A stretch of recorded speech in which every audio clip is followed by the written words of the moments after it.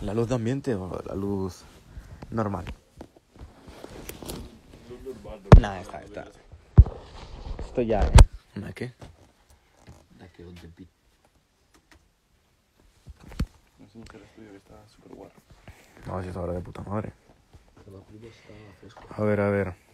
Bueno, tengo la cuenta privada, no va a haber tanta gente, pero bueno, que es para explicar un par de cosas.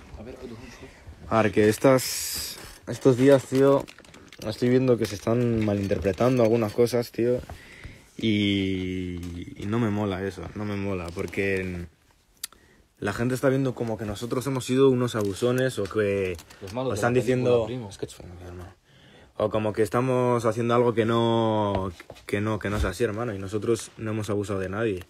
Y la historia del vídeo la voy a aplicar para que entendáis que no hemos abusado de nadie hermano. Eso es después de no estoy en gente unas semanas después eso no es de ahora eso es de que no sé qué pasó no sé si estaba chaval en Marruecos no sé qué eh, hay gente que se lo tomó muy personal eso y se, se pusieron a decir cosas personales de que cuando viniese de Marruecos que iba a hacer tal cual.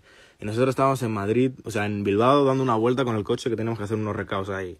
Y nos lo encontramos. Y bajamos para hablar con él de a ver qué estaba pasando. Normal, de a ver qué estaba pasando.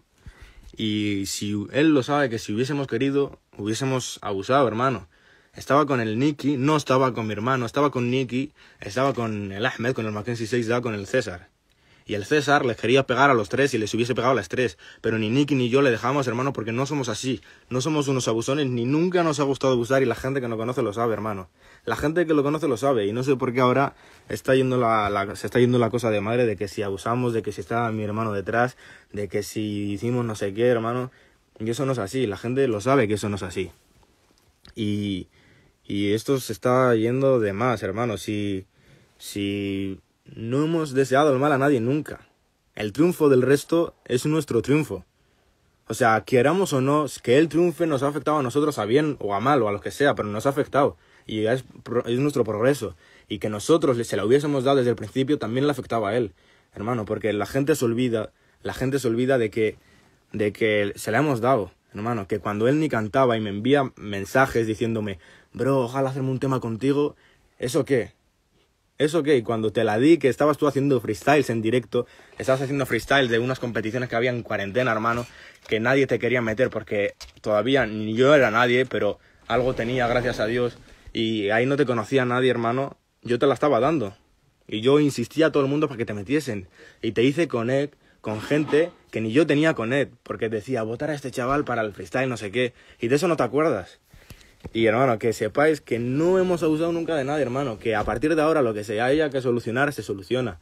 Y no te las tires de bravo diciendo cuando nos encontremos un mano a mano, porque tú sabes bien que con un mano a mano, hermano, no tienes nada que hacer contra mí un mano a mano. No seas fantasma, tío. No seas fantasma porque no tienes nada que hacer.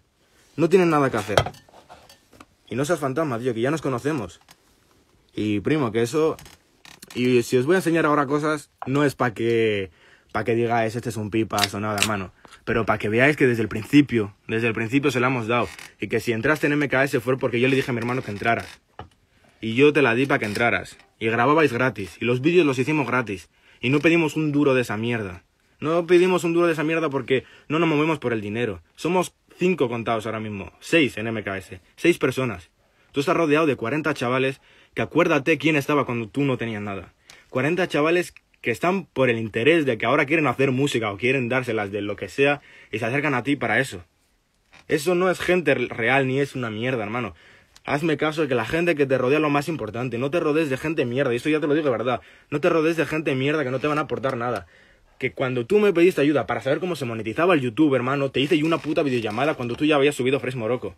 Cuando tú ya lo habías subido, tú me hiciste una videollamada diciéndome, hermano, eh, que no me está llegando dinero de esto. Y te expliqué, no te va a llegar ahora, te va a llegar dentro de tres meses. Te va a llegar dentro de tres meses, tú tranquilo, tal, cual, hermano. Te ayudé hasta en cómo ganar tu propio dinero, que fue dinero que, que podía haber sido nuestro.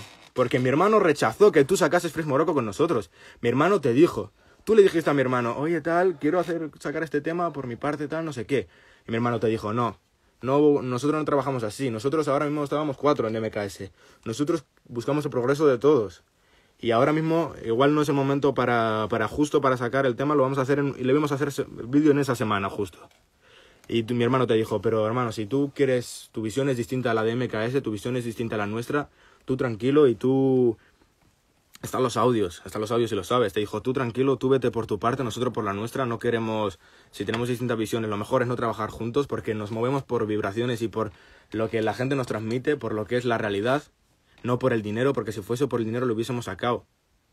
Y no es así, hermano, y te lo dijo él, te dijo, no queremos tal, pero para lo que sea cuenta con nosotros. Tú sabes que nuestro apoyo lo vas a tener porque desde el principio te lo hemos dado.